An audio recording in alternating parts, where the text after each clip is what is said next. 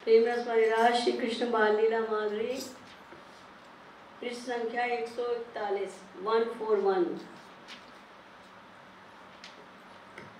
छोटे से ठाकुर जी, मैया से दुल्हनी मांग रहे हैं। तो मैया कहती है, देखो, द्वापर में घोर कलयुग आ गया। पाँच साल का लाला मैया से कह रहा है, मुझे बड़ी सी दुल्हनिया ला दे। बड़ी सी दुल्हनी मांगत लाल मैया कहती है, देखो तो ये द्वापर में कलयुग आ गया। पीताम्बर हूँ, संहारी सकत नहीं, छुटत छिनई छिन हाल अभी छोटा सा लाला है पीताम्बर तक संभलता नहीं है, वो गिरता पड़ता रहता है, छूट जाता है, और कह रहा है, दुल्हनी ला दो बोलत बोल तोतरिन बोलनी, बहत रहत मुख राल और अभी बोलना भी नहीं आता। तोतली भाषा में बोलता है और मुँह से राल, लाल गिरती रहती है और मांग क्या रहा है, हमको दुल्हनी ला दो।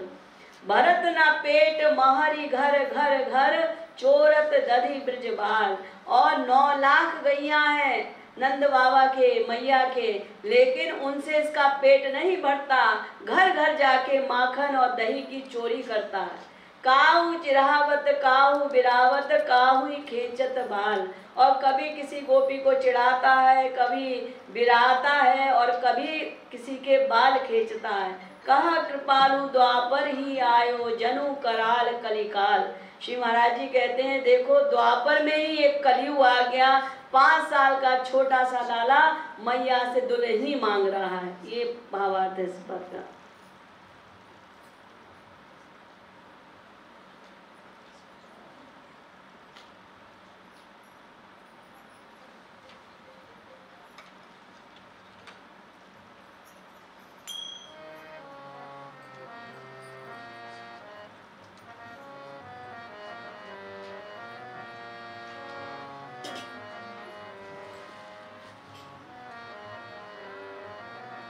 बड़ी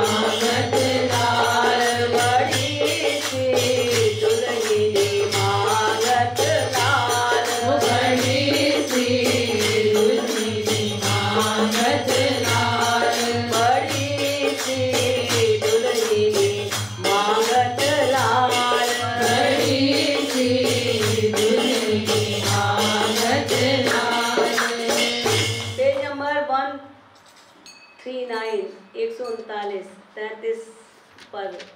छोटे से ठाकुर जी छोटी सी राधा रानी के साथ खेल रहे हैं। लली संग खेलत बाल गोपाल। दोनों एक दूसरे के साथ खेल रहे हैं, लेकिन ठाकुर जी तो बड़े चंट चलाक। खेलन के पूरब नटखट ने चली अटपटी चाल। खेल के पूर्व ही ठाकुर जी ने बड़ी अटपटी चाल चली। क्या? कहो लाल जो खेल ही हारे, दाव दिए तत्काल। ठाकुर जी ने कहा, देखो भाई, हम लोग खेल तो रहे हैं, लेकिन खेल में जो हारेगा ना, उसको दाव देना पड़ेगा। सबको मंजूर है, सबने कह दिया हाँ मंजूर है। तो ठाकुर जी ने क्या चाल चली? राधा रानी से क्या कह रहे हैं? तुम हारो तो ब्याह करहु मोही।